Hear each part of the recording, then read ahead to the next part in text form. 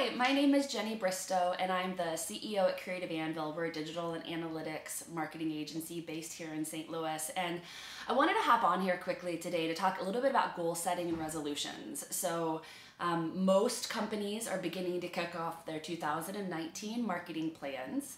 And with that, of course, everybody has key goals or KPIs, key performance indicators they're wanting to accomplish as part of that marketing plan. Um, all good marketing plans are measurable and you're able to track your improvement and lift year over year. One big thing that we are seeing happening right now in the industry, we have uh, quite a few active projects in this space right now, is Google Analytics audits. So, whenever you're measuring and baselining your marketing activities, you have to make sure that the data you're getting in is accurate um, and usable.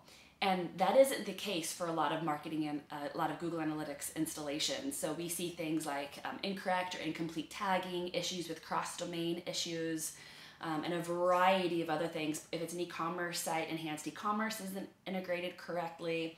Um, and even looking at things like proper attribution tracking or call tracking.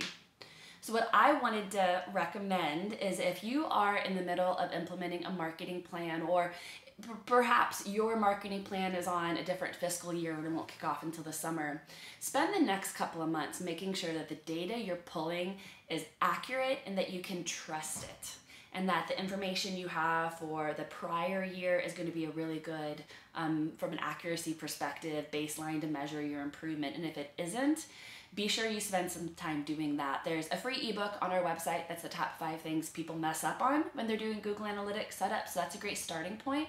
Just from a checklist perspective, make sure everything is right.